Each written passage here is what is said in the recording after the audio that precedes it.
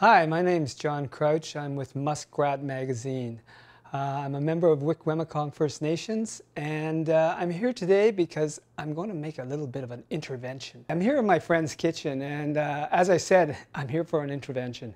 Um, I've got 30 years uh, experience in the food business. Uh, I started out as a waiter, um, and I moved my way up till I bought my own restaurant. I now, now own a catering company called Accidental Caterer. Um, I know quite a bit about food. You know, I used to eat unhealthy at one time, but as I worked in the industry, I learned to make choices. And that's something that I'm going to try to teach my friend today is to make healthy choices to improve his life. We're going to start with bread, you know, always considered the staff of life, but this really is not the staff of life. This is more like the nail in the coffin. This is a, uh, a product that is made with uh, bleached, overly processed uh, flour that has all the good ingredients removed from it. Um, my suggestion is you don't buy it. But if you do buy it, just throw it straight into the garbage because it has no good qualities whatsoever. Um, here we have another choice, uh, whole, whole wheat. Now whole wheat, you know, sounds good, uh, but still, this is made with a, a more processed flour than uh, uh we really want. What we want, what we're looking for is whole grains, you know, that have, don't have the germ removed, that are um, actually, you know, more closer to the natural form that they came in. And that is something that we always have to remember. If it's close to its natural form, it's probably good for you. So we can get rid of this as well. A better choice is this. This is made with whole grains. Uh, it contains flax, oats, uh, rye. It contains a lot of different uh, uh wheats and different uh, grains that are, are, good for you. And they still have the uh, germ within them, and they're going to provide much more nutritious uh, quality than either of those other two first choices. So try to choose a, a, a bread that's made with whole grains. So this one is a keeper. You know, as it stands, I think we eat too much bread anyway. Um, you know, even the good bread, I think we are eating too much it's better to uh, perhaps like uh, eat less bread and maybe get some of those same nutrients from uh, whole grains through eating nuts and eating, uh, getting it from your pasta, for example. But uh, we, we tend to, in our society, eat far too much bread and we get far too many calories from bread. Okay, let's see what my friend has in his fridge. Oh, what's this? Wow. Kraft Smooth Peanut Butter. Well, you'd think that would be good for you, you know. It's got nuts in it, doesn't it? But let's see what else it has in there. Wow, it has soybean oil, corn dextrin, sugar, and hydrogenated vegetable oil and salt. That doesn't sound good. Let's take a look and see what I brought in my basket. Same company, but we have something that's uh, all natural. But remember, those are trick words, all natural. But let's look at the ingredient label. That's what you should always do. Look at the ingredient label, and that'll tell you what's in this product. In this product, we have, lo and behold, peanuts. Wow. You know, that's what you want. Peanuts. They come from nature, and we can eat that. So we'll keep that one because that one's going to be good for you. Okay, let's take a look at my friend's cupboard. Oh my God, what are these? Potato chips. Oh, like you may as well eat styrofoam. This is crap. Uh, you know, we look at it and, it's, and I love the way they market it. Specially selected potatoes. Well, specially selected potatoes. Wow, that doesn't mean crap to me. But um, all I can say is that this is deep fried in hydrogenated oils. Uh, and those oils are going straight into your body. Um, you know, this is something, this is one product that I can honestly say that we never should eat. You know, it's got 420 calories in this one little bag. You know, that, that is uh, a quarter of a woman's calories for a day. So this uh, is something that we can toss right away. Better, but not perfect, is this other item in my friend's uh, cupboard there. Popcorn. Look at that pretty packaging, eh? Wow, that's all going to go to a landfill site somewhere. Um, but see, this uh, product too is uh, all individually wrapped, right? You know, it's all about convenience. It's all about, um, you know, making it easier for us to eat more. Uh, what I say we should do with this is, um, you know, before we throw it in the garbage, I just want to tell you that uh, what we need to do is take control of our lives, take control of our foods. And we don't need someone telling us what we should be eating. Uh, and this is a bad product only because it's uh, in butter and it's a fast food basically. So let's toss that too. Better still is, you know, let's start buying things the way our um, you know, our mothers and fathers and grandfathers bought things, you know, from in the natural form, you know, the way it came out of the field and was harvested, this is closer to the natural form. And this is going to be better for you because you have more control.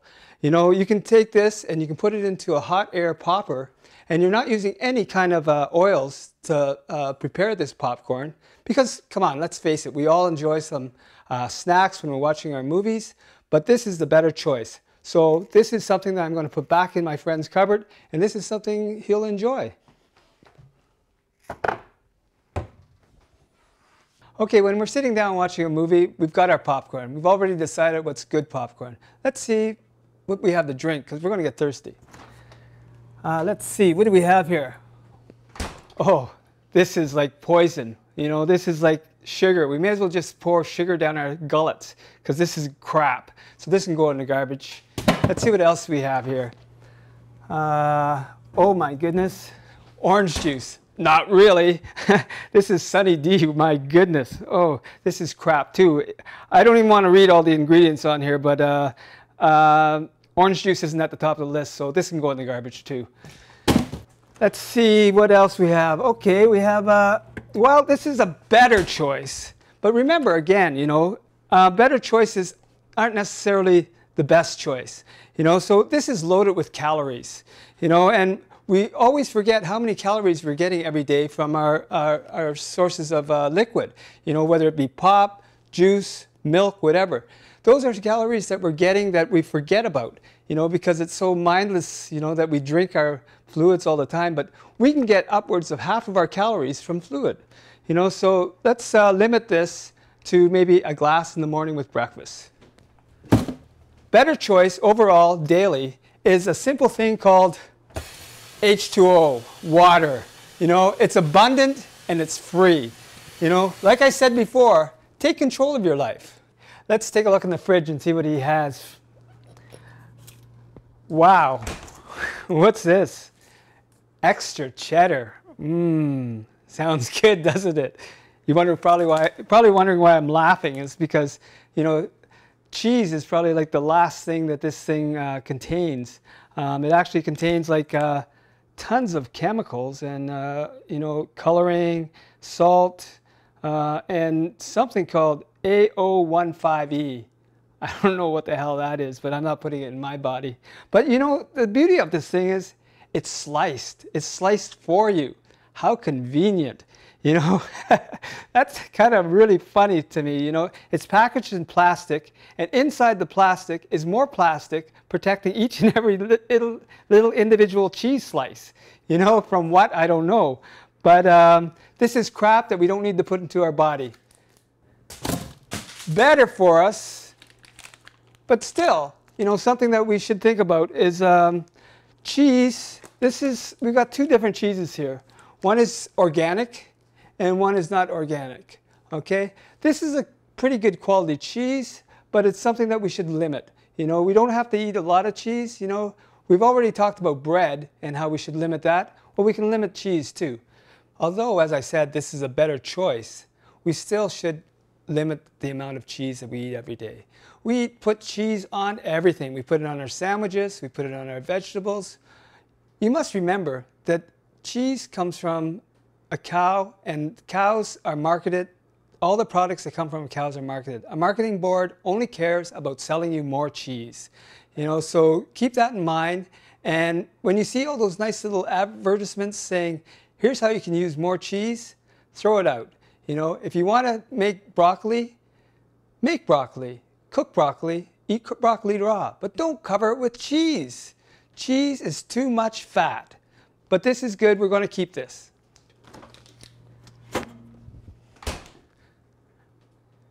Okay, we're going to talk about something that is a really big pet peeve of mine, cereal. Let's see what they got in the cupboard here. Oh my God. Look at this crap. Wow. You know, look how pretty that is. So look at the bright colors they use. You know, this is a marketing ploy. You know, if you've ever noticed when you go to a supermarket, the, the sweet, overly processed cereals are right at eye level, right at the level of your kids sitting in that shopping cart. You know, they're going to point at that and say, Mommy, can I get this, some of this? And you get tired of listening to the nagging, so you, you, you succumb to their demands and you buy the crap. Don't buy this stuff because it's no good for you and it's no good for your children. You know, companies spend millions and millions of dollars marketing these products to your children. They don't care about your, the health of your children. Keep that in mind. Let's see what else is down here.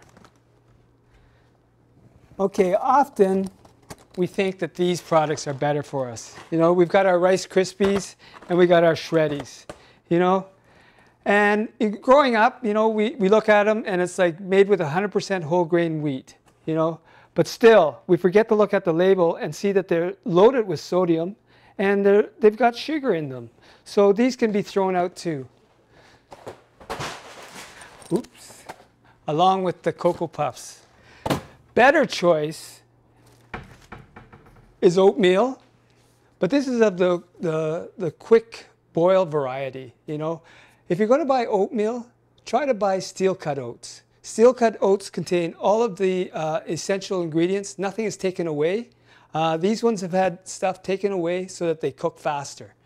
Uh, even better, I think, is whole grains. You know, whole grains with a, a low-fat milk, organic milk if you can afford it, and you're getting so many nutrients and minerals from these uh, products like this that it's going to do you much better. And in reality, because so many of those other products have food coloring in them, your children will behave better when they're eating foods that come closer to what is natural, closer to the earth. So remember that. Get stuff that comes from nature. Don't get stuff that comes from the scientists. Oh yeah.